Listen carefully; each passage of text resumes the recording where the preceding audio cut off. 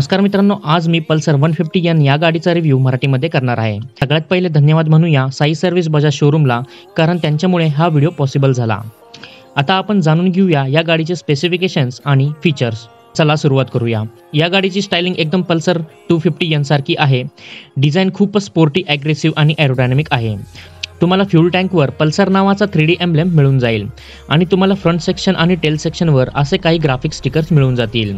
गाडीच्या समोर बघितलं तर आपल्याला मिळणार आहे L E D projector headlamp आणि त्याचसोबत तुम्हाला L E D D R Ls पण मिळून जातील जे खूप स्टायलिश आणि कॉम्पॅक्ट आहेत पाठीमागे तुम्हाला दोन लाईनमध्ये टेल लॅम्प मिळून जाईल जो की खूपच सुंदर आहे. ही गाडी तशी कम्प्युटर सेगमेंटमध्ये येते पण या गाडीला स्पोर्टी फील पण दिला आहे. तर मला ही गाडी कम्प्युटर आणि स्पोर्ट्सची एक कॉम्बिनेशन वाटते. या गाडीमध्ये एक्झॉस्ट जो आहे तो खालच्या भागात मिळेल. नॉर्मल जसं असतं तसं साईडला मिळणार नाही. आणि या एक्झॉस्टची साऊंड इंजिनिअरिंग खूप चांगली केलेली आहे. तर चलाच आपण एक्झॉस्ट नोट ऐकून घेऊया.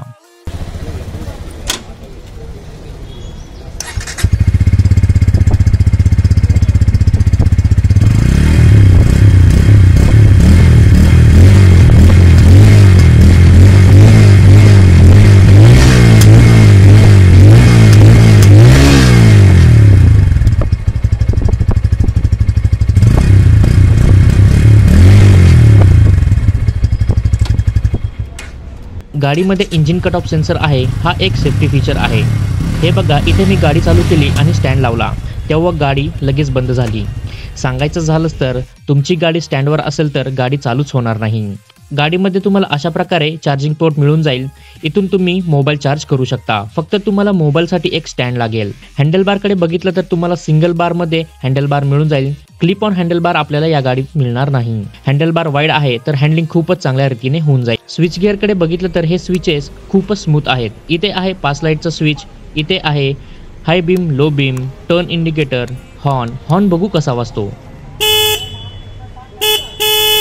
छान.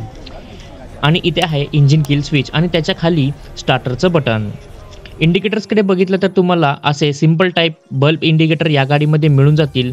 तुम्हाला एल ई डी इंडिकेटर्स या गाडीमध्ये मिळणार नाहीत. ते तुम्हाला टू फिफ्टी एनमध्ये मिळून जातील.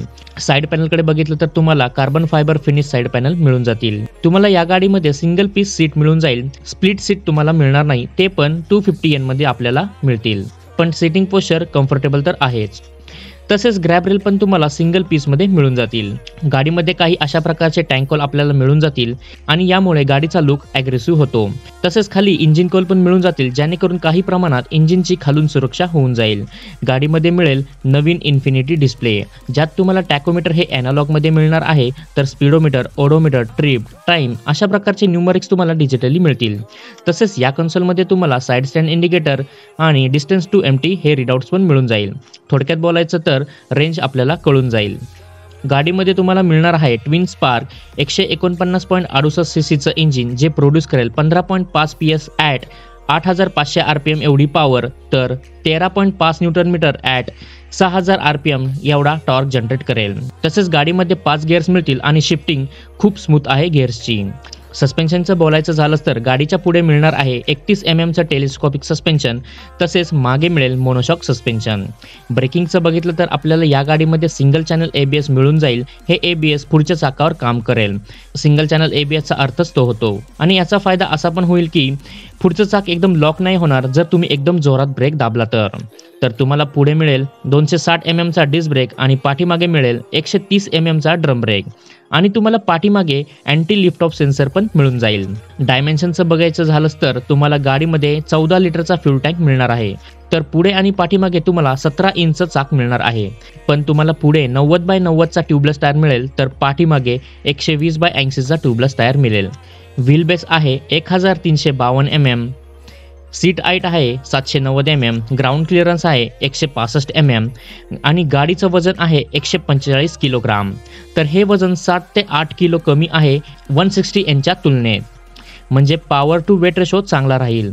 तर या गाडीची एक शोरूम प्राईस इन पुणे आहे एक लाख सतरा हजारच्या आसपास. तर आजसाठी एवढंच. व्हिडिओ कसा वाटला हे कमेंट करून सांगा आणि व्हिडिओला लाईक करा. मिळूया पुढच्या व्हिडिओमध्ये